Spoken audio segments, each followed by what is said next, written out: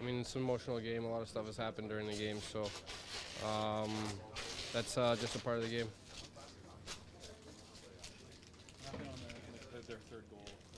Yeah, I, I don't know. It just uh, kind of bounced off uh, my stick and took a weird bounce, and uh, it ended up in the net, which was tough. But um, I mean, got to forget about that and move on. Is it difficult to do that to, to forget about it and, and move on, like to, to recover from that? No, I mean, I mean, it happens to everybody. That's, uh, I mean, it happens. Obviously, you don't want it to happen in the playoffs, and I mean, an important game like that. But now, uh, I mean, pretty pissed about it when it happened. But now, I got to forget about it. What does your line have to do tonight, and, uh, Connor? Yeah, I think we have to uh, dominate them. I mean, in the O zone and play uh, play a heavy game uh, down there, and then play a solid D zone game too.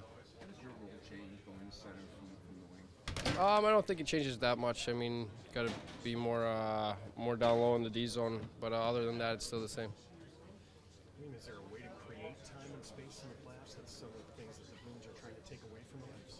Yeah, I mean, you got to slow the game down maybe a little bit. Uh, maybe not have it fly around uh, 100 miles an hour. So uh, I think that's a big factor.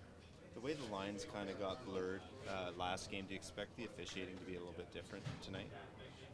Um, I mean, it was. Uh, I mean, it's playoff hockey, so we'll see what happens.